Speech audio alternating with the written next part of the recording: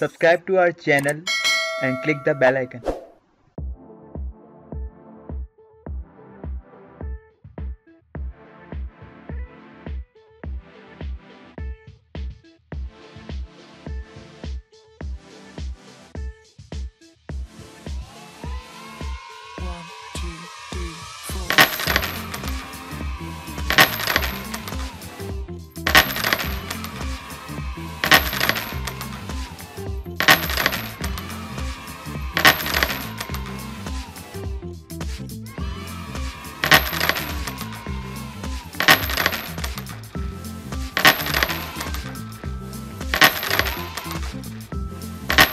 you